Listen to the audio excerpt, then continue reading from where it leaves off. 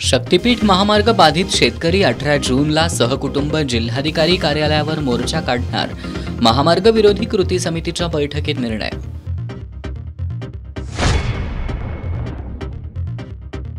विभागीय आयुक्त डॉक्टर चंद्रकांत पुलकुंडवार यांनी घेतला पंचगंगा नदी प्रदूषण प्रश्नाचा आढावा. प्रदूषण रोखण्यासाठीच्या उपाययोजनांबाबत प्रशासनाला दिल्या महत्त्वाच्या सूचना.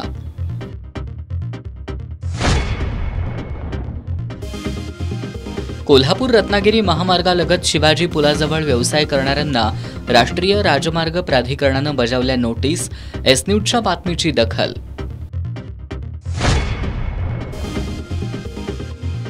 राजापूर बंधाऱ्यातून कर्नाटकात खोडसाळपणे पाणी नेण्याचा प्रकार.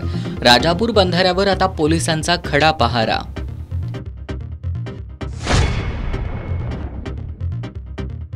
आणि शेतीसाठीच्या पाणी दरातील वाढ कमी करण्यासह शेतकऱ्यांच्या अन्य मागण्यांबाबत सचिव स्तरावर बैठक घेऊन सकारात्मक निर्णय घ्या.